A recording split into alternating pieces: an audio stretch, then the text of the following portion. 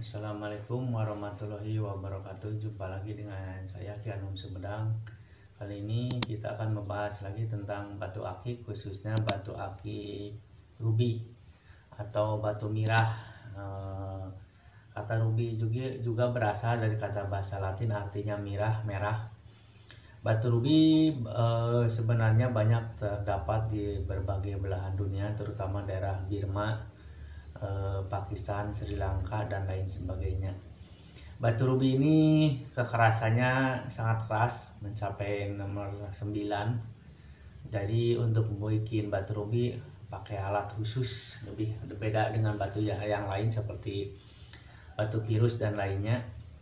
Batu rubi menurut riwayat kitab-kitab kuno juga eh, banyak membahas tentang batu rubi ini Bahkan Nabi Sulaiman pernah berkata dalam riwayatnya beliau berkata wanita bijak itu lebih berharga daripada batu mirah. Ya berarti semenjak zaman Nabi Sulaiman Nabi batu rubi ini sudah ada. Ini hanya sebagai contoh batu rubi. Ini yang merah daging, ada yang merah muda. Jadi banyak jenisnya batu rubi itu.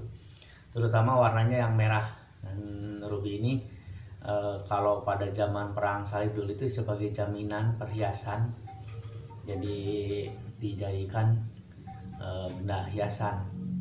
Bahkan di mahkota-mahkota raja yang terdahulu juga suka pakai batu rubi ini merah rubi ini. Jadi batu rubi ini semenjak dulu udah ada dan dijadikan sebagai perhiasan baik perhiasan kalung atau mahkota dan lain sebagainya. Batu rubi ini menurut riwayat dongeng Sri Lanka juga bahwa seorang dewa itu mau ke sungai dan darahnya keluar jadilah batu rubi menurut kepercayaan Sri Lanka. Di Indonesia batu rubi tersebar terutama daerah Kalimantan banyak menghasilkan batu rubi dan ada yang merah eh, merah tua ada yang merah muda cuman untuk batu rubi agar mengeluarkan cahaya digosoknya harus uh, oleh serbuk intan karena kekerasannya cukup lumayan juga ini batu rubi. Batu rubi ini banyak khasiatnya di antaranya uh, memberikan ketenangan terhadap jiwa memberikan keberanian kekuatan terus melanggengkan percintaan lambang percintaan. Jadi ini bisa untuk pengasihan batu rubi untuk pengasihan dan uh, orang yang pakai rubi biasanya setia di dalam uh, hubungan percintaan menurut legenda cerita. Jadi batu rubi ini uh, lebih bagus lagi untuk pengasihan orang yang jualan dianjurkan biar dia punya pendirian. Jadi orang-orang yang nggak percaya diri harusnya pakai rubi ini biar pendiriannya kuat, teguh. Kadang-kadang kan banyak orang yang was-was nggak punya keyakinan diri pakailah batu rubi ini insya Allah uh, akan lama tahun jiwanya akan uh, timbul uh, keyakinan keberanian. Nah ini seperti ini batu rubinya. Sebenarnya uh, banyak jenisnya. Ini uh, termasuk ruby siam. Ruby siam kebanyakan uh, Thailand seperti ini. Cuma yang di Kalimantan agak muda rubinya agak agak agak muda warnanya agak pudar. Bahkan ada yang kecil yang seperti di biji merah delima warnanya juga kayak merah delima Terus ada pertanyaan bagaimana perbedaan ruby dengan mustika merah dalim yang dicelupin bisa bercahaya. Kalau yang batu merah yang dicelupin bisa bercahaya itu ada kemungkinan kemungkinan palsu, hanya bikinan bukan dalamnya ada baterai ada lampu. Kedua benar-benar pusaka. Kalau merah delima pusaka ngetes itu jangan dikairkan masukan. Kita pakai batunya, kita pegang air, celupin aja tangan kalau merah semuanya itu asli. Jadi bukan batunya aja. Kalau kita pakai musika merah delima kalau kita menyentuh air di gelas atau di ember atau kolam akan berubah merah. Itu mustika merah delima. Beda dengan ruby. Di banyaknya orang beranggapan bahwa merah delima dengan ruby itu sama. Beda. Kalau itu adalah mustika. Dan mustika itu jarang didapat. Jumlahnya tertentu di tempat-tempat biasa tempat-tempat yang wingit uh, terutama banyak yang mengandung air seperti telaga, danau dan lain sebagainya. Biasanya kalau di makam-makam keramat suka ada mustika merah delima. Kalau ruby ini tambang dari gunung, dari batuan alam diolah jadi hiasan jadilah batu ruby. jadi batu rubi ini hiasan dan kalau alami insya Allah energinya ada radiasi positif ke badan tubuh kita. Ya itu, itu tadi buat pengasihan menguatkan percintaan menguatkan hati dan pikiran menambah kepercayaan diri untuk pengasihan untuk awet muda. Terus kalau ada bahaya ini bisa berubah. Jadi warna agak gini bisa agak pucat kayak gini itu ada tanda bahaya ada ada yang mengancam ke tubuh kita biasanya ruby itu berubah. Waktu zaman dulu perang salib juga kalau orang pakai ruby kalau berubah dia tandanya akan meninggal atau ada bahaya.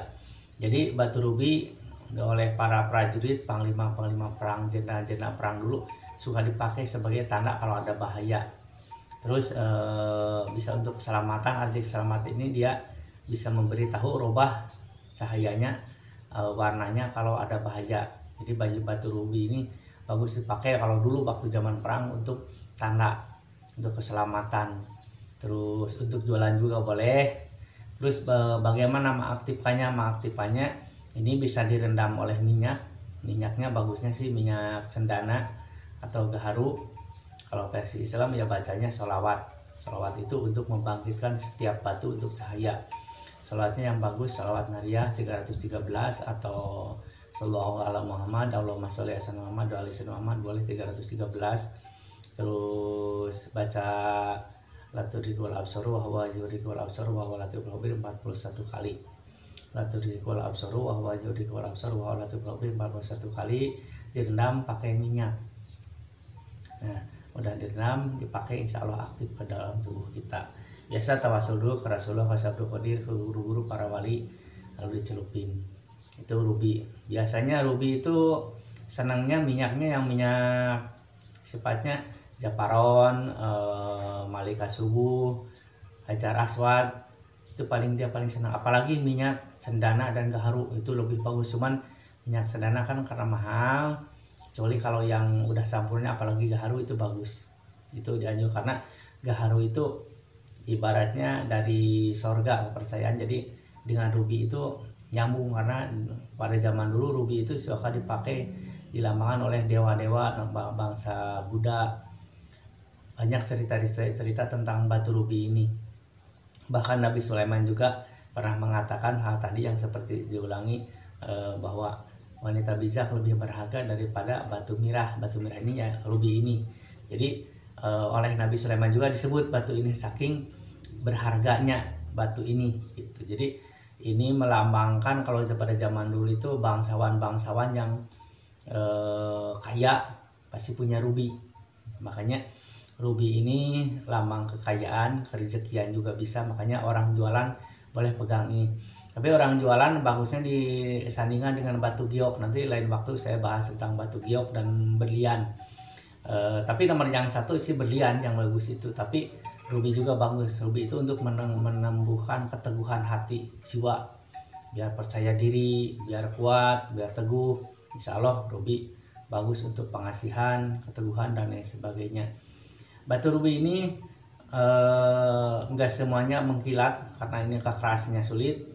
Digosoknya juga harus dengan serbuk intan dan bikinnya biasanya orang-orang tertentu saya juga ini dapat di pemberian bukan saya dapat dari alam langsung kalau dulu saya pernah punya mustika merah delima itu juga puasa di pinggir sungai tapi kalau merah delima mustika yang mustika itu hanya datang kepada turunan raja dan raja. Jadi kalau orang biasa punya merah delima berarti itu orang asli, raja asli.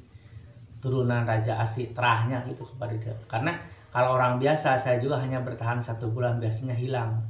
Kalau merah delima mustika yang dicelupin menyala itu ke orang biasa biasanya hanya satu bulan pasti diambil lagi oleh wadahnya pergi. Dan itu gak bisa dijual perjualbelikan itu hanya pilihan tertentu hanya orang-orang raja terah raja yang punya merah delima itu makanya kalau ada orang yang mau beli sekian triliun miliar biasanya gak jadi karena itu diperuntukkan khusus seseorang dan itu harus terah raja dan kemungkinan raja aslinya yang pegang merah delima itu mistika itu. Jadi kalau masyarakat biasa pegang gak akan lama dia akan hilang lagi. Dan itu gak bisa perjualbelikan itu mah khusus orang pilihan tertentu. Dulu juga saya hanya kuat satu bulan hilang lagi. Memang betul jadi begitu dipakai siapkan air bahkan kolam ikan dicelupin telunjuk itu bisa merah. Itu keunggulan mustika merah 5 dan e, jangankan badan kita rumah kita yang punya itu bisa gak mempan oleh api senjata dan lain sebagainya. Demikian sekilas tentang batu ruby atau batu mirah semoga bermanfaat. Dan bagi yang ingin lebih jelas silahkan hubungi ke nomor WhatsApp saya. Nanti di komen aja di channel YouTube saya ini karena banyak juga mungkin penggemar batu ruby ini dan bagaimana cara mengaktifkannya. Sebenarnya ini kalau disesuaikan dengan aura tubuh bagusnya yang orangnya yang agak kulitnya putih eh, coklat kuning kuningan bagus pakai ruby ini.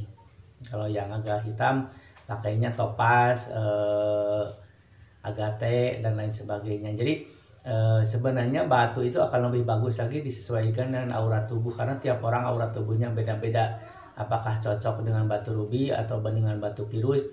Biasanya ruby disandingkan dengan batu virus bagus. Kalau disandingkan dengan aki kiaman eh, terlalu kuat energinya. Jadi kalau orang yang kurang kuat uh, energinya boleh disatukan. Demikian tentang batu rubi. Semoga bermanfaat. Assalamualaikum warahmatullahi wabarakatuh. Rahayu